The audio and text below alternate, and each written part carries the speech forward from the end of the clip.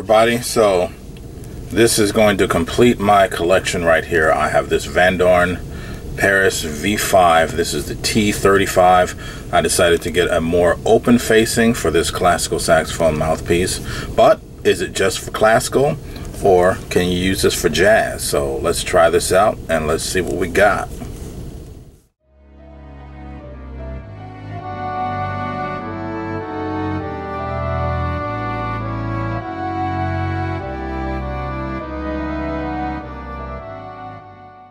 No ligature. Aye.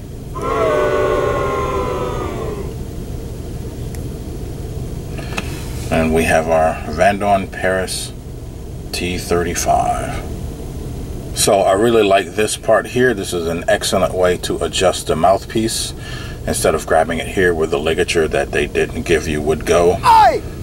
And we can take a look at these rails here. These rails don't look as wide as I thought they would be.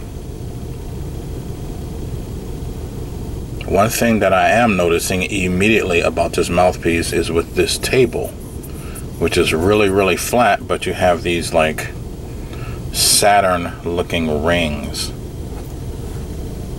that are going. This is the most prominent rings that I've seen on any mouthpiece.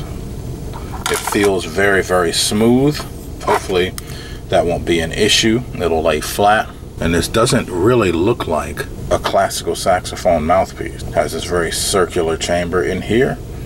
It looks like there's a tiny bit of a forehead right at the top right here and a slight angle change. All this white stuff is just piece of the box because it was just sitting in the box like that. Aye. But this tip rail looks very even. Everything looks very balanced. And let's take a look at this chin area or this window. I like to call it a chin. You can see it's very rounded and then if I angle it on the inside like this, it's pretty thick.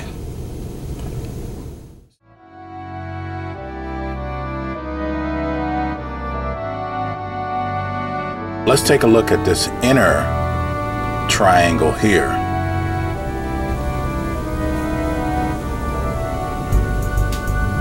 And it looks a bit concave. It has something of a slight Otto Link look to it when you look at this inner triangle here.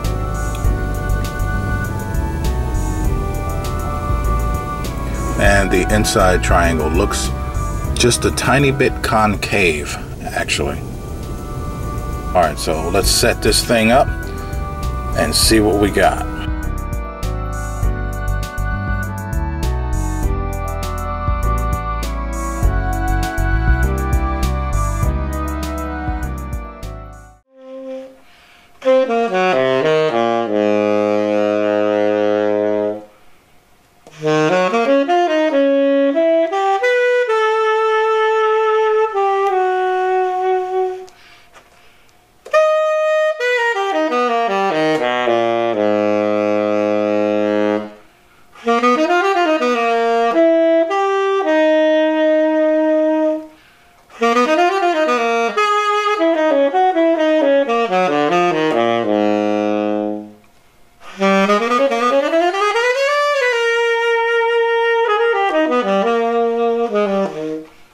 definitely not your typical type of French school of classical saxophone sound.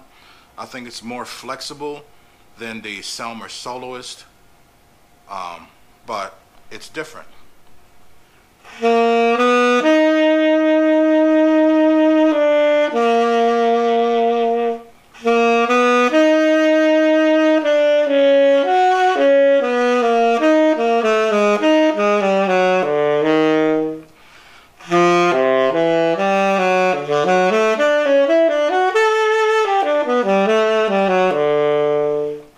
Cut disengaged.